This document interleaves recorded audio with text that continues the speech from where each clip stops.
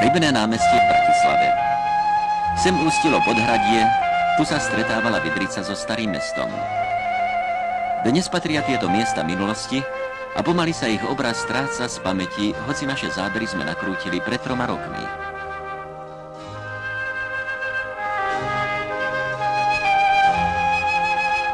Bratislavský most môžeme právom nazvať historickou stavbou. Nielen preto, že sa naň tak dlho a túžobne čakalo, ale aj preto, že navždy zmení charakter historických miest a pohľadnicu Bratislavy.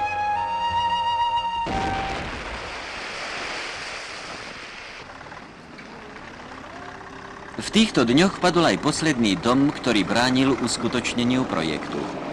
Na Rybné námestie zostanú len spomienky, zabudne sa aj na dlhé diskusie. Bratislava teraz netrpezlivo čaká na nový most už aj preto, lebo plánuje rozšíriť sa na druhý breh Dunaja. Na stavbe sa pripravujú na montáž nosného trámu. Zatiaľ práce pokračujú dobre a stavitelia slubujú, že splnia plánované termíny. 31.